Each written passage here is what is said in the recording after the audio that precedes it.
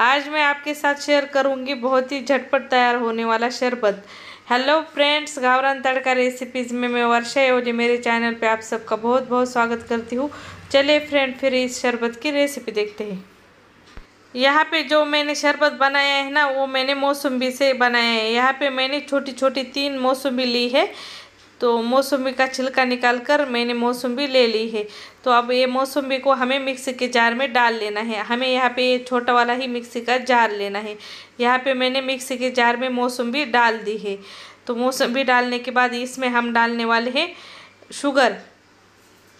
तो पूरे शरबत में जितनी शुगर डलनी है, उतनी शुगर एक साथ ही यहाँ पे हम डाल देंगे। तो यहाँ पे मैंने शुगर डाल दी है। मैं यहाँ पे पूरे घर के लिए शरबत बना रही हूँ मतलब पाँच छः गिलास में इसे शरबत बनाने वाली हूँ। तो उसके हिसाब से मैंने यहाँ पे ये शुगर डाल दी है। तो यहाँ पे ना हमें इसको पीस के ले लेना है। यहाँ पे ना मैंने अच्छे से मौसम्बी और शुगर को पीस लिया है। अब जो हमने ये पीस कर बैटर तैयार कर लिया है, इसको एक छालनी में डालना है और छालनी में डालने के बाद अच्छे से उसको छान के ले लेना है। तो यहाँ पे ना मैंने अच्छे से सब बैटर हमारा मौसम्बी का छान लिया है, आप देख सकते हो। तो यहाँ पे ना मैंने ये मौसम्बी का बैटर अच्छे से छान लिया है, आप देख सकते हो। तो अब इसमें हमने डालना है पानी। तो जितने गिलास शरबत बनाना है, उतने गिलास आप गिन के इसमें पानी ऐड कर लीजिएगा। तो पानी डालने से पहले ना इसमें मैंने थोड़ा नमक भी डाल दिया था। तो नमक से शरबत में बहुत अच्छी टेस्ट आती है। अगर आपको इसमें चाट मसाला भी डालना है तो डाल सकते हो। और एक बात, जो मैंने ना मौसम्बी ली थी, वो मेरी खट्टी मौसम्बी थी, एकदम मीठी नहीं थी। और अगर आपकी मौसम्बी अगर बहुत ज़्यादा मीठी है, उसमें खटास थोड़ी भी नहीं है तो आप हल्का नींबू का जूस भी इसमें डाल सकते हो, आधा नींबू निचोड़ के। तो यहाँ पे मैंने इसमें पानी डाल दिया है। पानी डालने के बाद ना हम इसमें डालेंगे। मैंने इसमें डालने के लिए ना सब्जा को भिगा कर रखा था दस मिनट पहले। तो भिगाया हुआ सब्जा अभी इसमें हम ऐड कर लेते हैं। तो यहाँ पे हम दो तीन चम्मच सब्जा डाल देंगे। बड़े आसानी से ये सब्जा मार्केट में मिल जाता है। कौन से भी किराना स्टोर पे ये सब्जा आपको मिल जाएगा।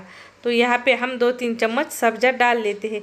सब्जा बहुत ज़्यादा हेल्दी होता है और बहुत ठंडा भी होता है।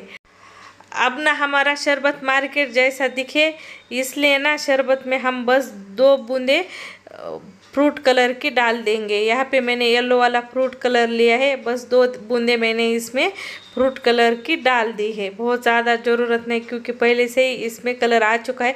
अगर डालना हो तो डालिए, नहीं तो कोई बात नहीं, ये ऑप्शनल है। आप कलर पसंद हो तो डालें, नहीं डालेंगे तो भी चलेगा। साथ ही में इसमें हम डालेंगे बर्फ़ के टुकड़े। तो बर्फ़ के टुकड़े डालने के बाद अच्छे से एक बार आप शरबत हम मिक्स कर लेते हैं। और यहाँ पे ये ठंडगार हमारा शरबत पीने के लिए आप तैयार हो चुका है। अच्छे से आप चम्मच ले लीजिए और चम्मच से सब चीज़ें एक साथ मिक्स कर लीजिए। देखिए कितना मस्त यहाँ पे ये शरबत तैयार हो चुका है।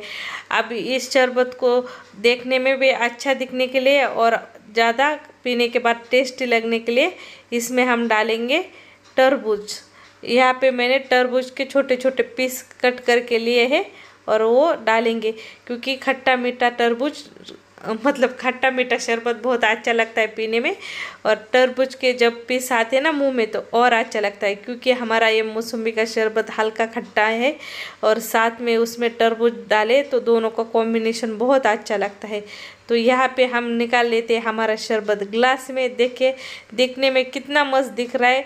मार्केट से भी अच्छा दिख रहा है कि नहीं दिख रहा, देखें। और बनाने का तरीका बहुत सिंपल है। अगर आपके घर में दो तीन मौसमी है तो आप दो तीन मौसमी में अगर आपके घर में अचानक मेहमान आए तो दस बारह ग्लास आप इस तरह का शरबत बनाकर तैयार कर सकते हो। दिखने में भी अच्छा दिखता है और पीने में तो बहुत ज़्यादा टेस्टी लगता है। एक बार बनाएँगे तो बार बार ऐसा शरबत बनाकर पियेंगे आपको मेरी ये शरबत की रेसिपी कैसी लगी कमेंट द्वारा मुझे ज़रूर बताइएगा। अगर मेरी ये रेसिपी आपको पसंद आती है तो लाइक शेयर और सब्सक्राइब करना ना भूलेगा। तो फिर मिलेंगे ऐसे ही कुछ नई रेसिपी के साथ। तब तक के लिए बाय बाय